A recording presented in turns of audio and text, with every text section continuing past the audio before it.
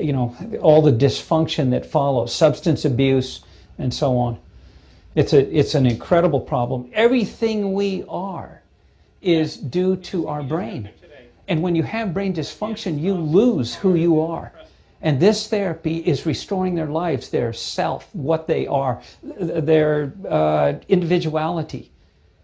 There's nothing like it. It's, it's very exciting.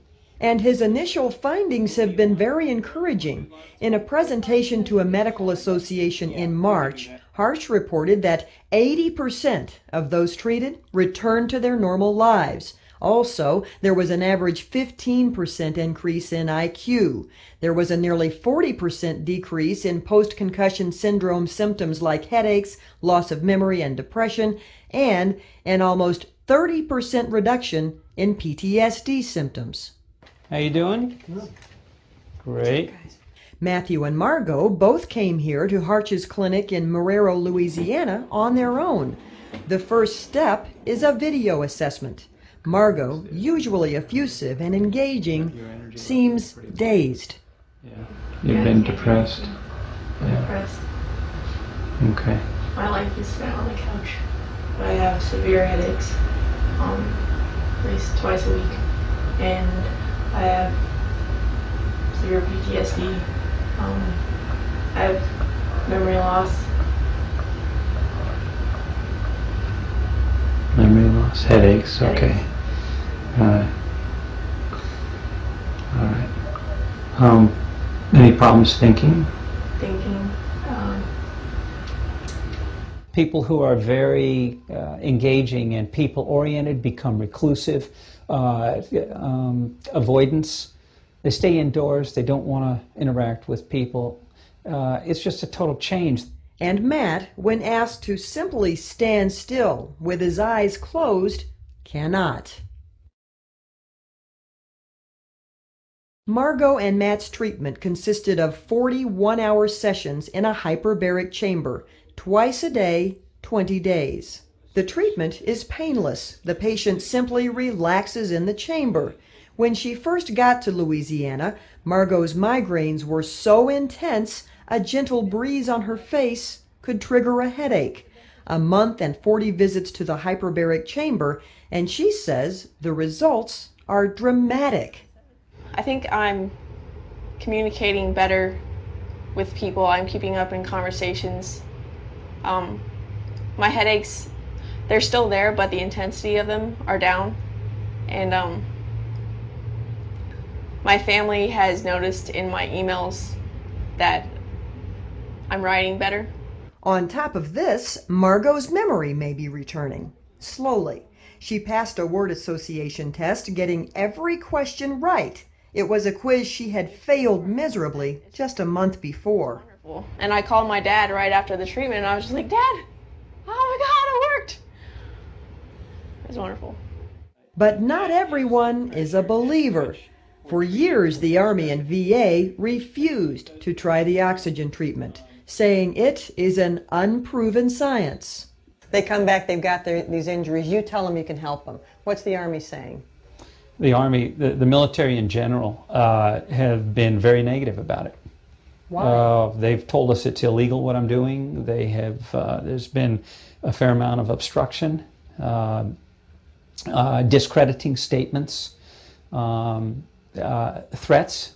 Right here, we have two buildings, and we have um, a interdisciplinary approach where we have all kinds of specialists that are together that are ju just here to treat soldiers with traumatic brain injury. This whole complex is for TBI. That's that's correct. As a director of clinical brain injury research at Evans Army Hospital at Fort Carson, Colorado, Dr. Heidi Terrio has seen 8,000 soldiers come through her office with TBI. In 2005, we uh, first began screening, and at that time, we discovered there was a, a, a brigade that had 23% of the soldiers had sustained a traumatic brain injury. Up until now, Army hospitals like Evans have been treating soldiers with TBI with a combination of physical therapy and drugs. They've even experimented using a Wii game console. but they had steadfastly refused to experiment with hyperbaric oxygen. But Congress took notice of Harch's research and is now forcing the Army to begin clinical trials, treating soldiers suffering from TBI with HBOT. Army Surgeon General Eric Schoomaker told World Report that, quote, without scientific, evidence based data to support current claims, it would be inappropriate to pursue hyperbaric oxygen as a viable treatment option for soldiers suffering chronic symptoms from brain injury. Because of its expense and labor intensity, it would also be an inappropriate application of critical resources better used for evidence based approaches. Harch says the studies are out there, but he believes the Army's medical establishment isn't open to new approaches. This challenges uh, a uh, hundred years of neurological dogma. You're not supposed to be able to do anything for a brain injury. By the end of this year, Evans Hospital at Fort Carson, along with four other Army hospitals, will participate in a double blind clinical trial using hyperbaric oxygen on about 300 brain injured soldiers. Being disabled uh, is expensive. So if we can recover uh, these folks, it would it may end up panning out that uh, that it'll be less expensive to, to treat them and and uh, make them have a full life. And there's always ways to improve, and there's always ways to make processes better. So, um, you know, constant improvement, um, continuous process improvement, making sure that you know you're always trying to fight for making it better for them. What's going to make you satisfied? I'll never be satisfied. We need to keep on striving to make sure that there's treatments for them. Dr. Terrio is crossing her fingers hyperbaric oxygen is the cure Dr. Harch says it is, and not a placebo which fools her soldiers into thinking they are better when they're actually not. Well, I think it's promising. Do I think it's going to be the silver bullet? We don't know. And uh, so there's other interventions that are going on as well. I'm hoping it works, but uh, we'll see. It's it. I don't have a bias one way or the other.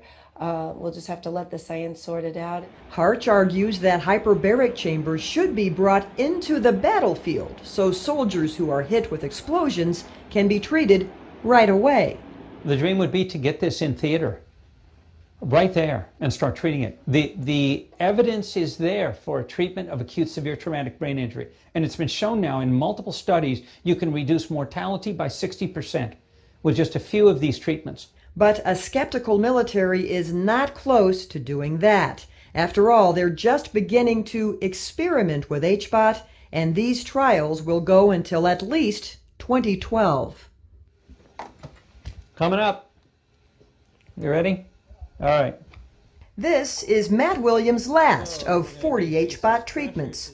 Dr. Harch would like to see him rest up a month and then receive 40 more. After his 40 treatments, Matt says he is less forgetful and his headaches are improving. But he is still struggling. In fact, he's moved to a remote family retreat where he's doing odd jobs in an attempt to stay busy. For Margaux, the HBOT treatments have given her a new lease on life. And when you first got here, were you skeptical? Or what, what was your mood? I was definitely skeptical.